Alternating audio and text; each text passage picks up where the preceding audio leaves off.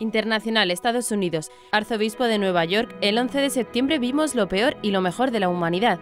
El cardenal Timothy Dolan, arzobispo de Nueva York, aseguró que el 11 de septiembre de 2001, cuando ocurrieron los atentados que tuvieron como uno de sus blancos las Torres Gemelas, el mundo vio lo peor y lo mejor de la humanidad. El 11 de septiembre es un día de memorias poderosas, un día en el que vimos lo peor de la humanidad y lo mejor de la humanidad, escribió el cardenal estadounidense este domingo en su cuenta de Twitter. Recordamos con reverencia a las personas que perdieron la vida, resaltó el purpurado. Unas horas después, el cardenal Dolan publicó un segundo tuit en el que comentó que fue una alegría encontrarse con los valientes hombres y mujeres de los bomberos de Nueva York esta mañana después de la misa. Recordamos sus sacrificios y honramos su valor hoy y todos los días. Gracias, aseguró.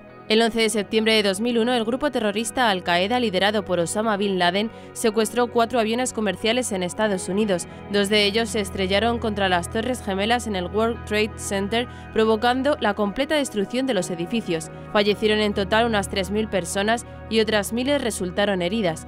Entre los fallecidos hubo una gran cantidad de personas como bomberos y policías que dieron su vida durante las labores de rescate ante la emergencia.